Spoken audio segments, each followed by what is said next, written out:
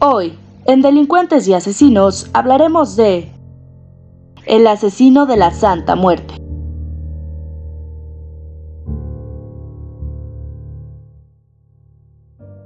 Marcelo Antelo, mejor conocido como el asesino de la Santa Muerte, es un asesino en serie responsable de la muerte de al menos cuatro personas en Argentina, todo para cumplir un ritual a la Santa Muerte.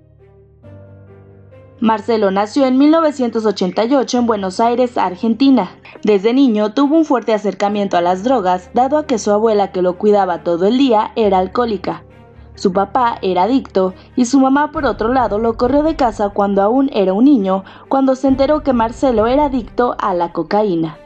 Abandonado por sus padres, se fue a vivir con un tío que apreciaba mucho, pero el hombre pronto murió en un asalto dejando al pequeño Marcelo solo e indefenso en un mundo de delincuencia y drogas.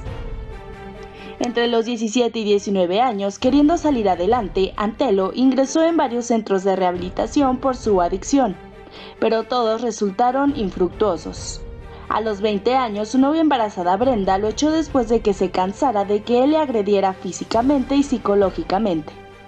Sin hogar ni familia, la adicción a las drogas de Antelo empeoró, dedicándose a robar y a asaltar para poder sobrevivir. Poco tiempo después entregaría su fe y religión a la Santa Muerte. El 21 de febrero del 2010, Marcelo realizaría su primer ataque disparando a Jorge Díaz en las piernas durante un intento de robo. Fue condenado por intento de asesinato, pero fue liberado poco tiempo después. En sus ataques posteriores atacó de noche cuando había poca visibilidad y no podía ser visto. El 8 de agosto del 2010, Antelo quiso vengarse de Jorge Héctor Mancilla, un ex compañero de piso que lo había echado por su adicción a las drogas. Marcelo tocó el timbre y cuando Mancilla respondió, lo mató rápidamente. Después de varios crímenes y asesinatos, Antelo fue capturado por la policía y encarcelado. Su juicio comenzó el 6 de agosto del 2012 y finalmente fue condenado a cadena perpetua por cuatro homicidios comprobados ocurridos entre febrero y agosto del 2010.